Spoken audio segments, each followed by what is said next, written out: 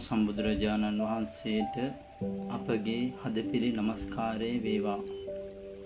ශ්‍රද්ධාවන්ත කාරුණික සත්පුරුෂ පිමතුනි දහසක් බුදුන් බුදුවන මේ හිමිදිරි උදෑසන ඔබේ ජීවිතයට බුදුරජාණන් වහන්සේගේ උතුම් වූ තථාගත ධර්මය සමීප කරන මේ මොහොතේ අද දවසෙත් අපි සුපුරුදු පරිදි ඔබේ ජීවිතයට යහපත පිණිස පවතින උතුම් වූ දහම් කරුණු කීපයක් සාකච්ඡා කරන්නට කල්පනා කරා.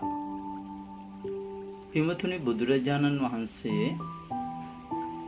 ධම්මපද පාළියේදී දේශනා කරනවා පුඤ්ඤංචේ පුරිසෝ කෛරා කෛරා තේතම් පුනః පුනා චම්මි චන්දං කෛරාච සුකෝ පුඤ්ඤස්ස උච්චයෝ කියලා.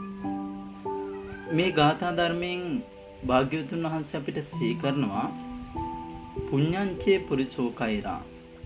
පින් කරන තැනැත්තා කෛරා තේතම් පුනක් පුනා.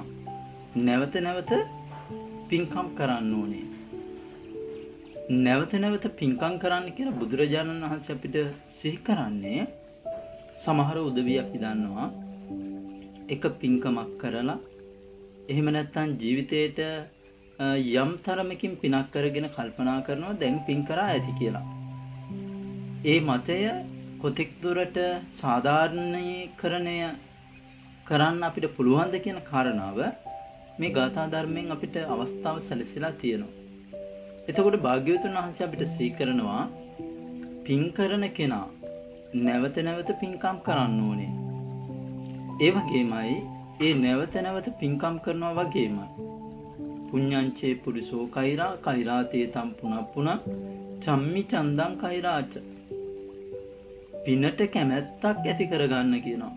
පින් කරද්දී අපිට කැමැත්තෙන් පින් කරන්නත් පුළුවන් අකමැත්තෙන් පින් කරන්නත් පුළුවන්. කැමැත්තෙන් දන් දෙන්නත් පුළුවන් අකමැත්තෙන් දන් දෙන්නත් පුළුවන්.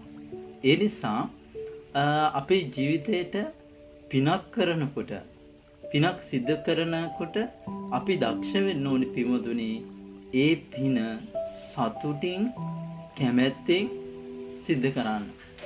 අපිට අන්න ඒ විදිහට කැමැත්තෙන් සතුටින් යම් පිනක් කරගන්න පුළුවන් නම් ඒ කාන්තයෙන්ම අපේ ජීවිතයට ඒ හරහා උතුම් වූ පිනක් රැස් වෙනවා.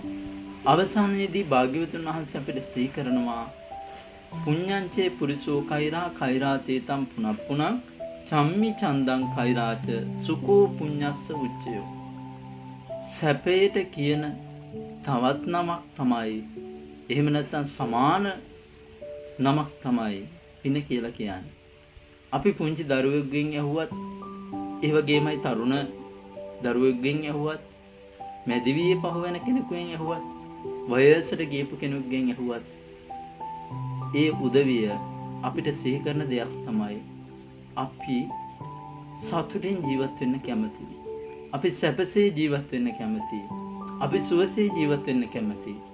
එහෙනම් අපේ ජීවිතයට සැපය සුවසේ ජීවත් වෙනවා කියන කාරණාව අපි කුමන ආකාරයෙන්ද ඇති කරගත යුත්තේ කියන කාරණාව අපි කල්පනා කරලා බලන්නට ඕනේ.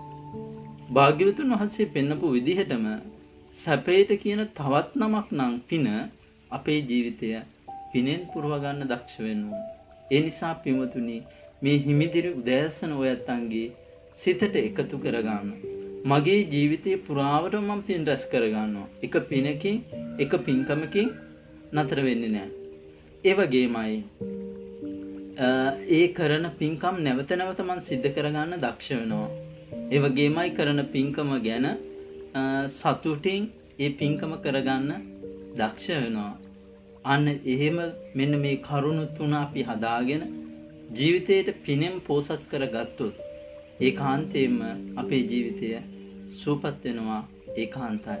ඒ නිසා ඉපිද මී යන මේ බියකරු සසර ගමන තුලදී යම් හෝ අස්වැසිල්ලක් ලබන්නට කැමතිනම් තමන්ගේ ජීවිතයට පින කියන කාරණාව එකතු කරගන්න කියන කාරණාව මේ හිමිදිරි උදෑසන අපේ ශ්‍රාවක පින්වතුන්ට ස්වාමින් වහන්සේ සිහි කරනවා.